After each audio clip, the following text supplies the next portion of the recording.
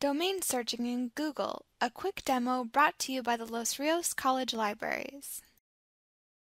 So your instructor said you should only use a specific type of websites like .edu or .org websites for your research paper. Here's a quick demonstration of how to narrow your Google search to look for websites published by a specific domain. Remember, a domain is part of the website's address which tells us how the site has been published. There are various types of domains such as .com for commercial websites, .gov for government entities, .org for nonprofit organizations, and .edu for educational institutions, and many more. Let's try a Google search for .edu sources on the Zapatista uprising. First, I can type in my search terms on a regular Google search. Then, to narrow down my results to a particular domain, I can select the little sprocket icon in the upper right-hand corner. Then I'll choose Advanced Search.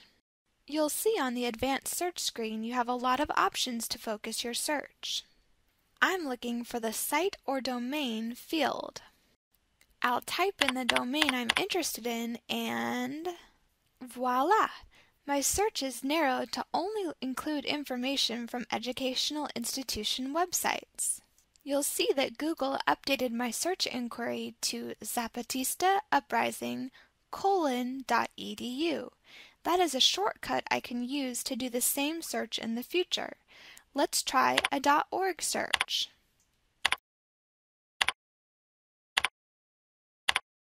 Remember, even though I've narrowed my results to types of websites my teacher accepts, I still have to evaluate my results to select the best sources.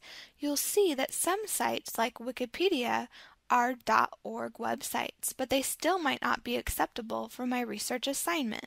Evaluate your sources for currency, reliability, authority, accuracy, and purpose. For more information on finding and evaluating Internet sources, contact your campus library or check out one of our other tutorials.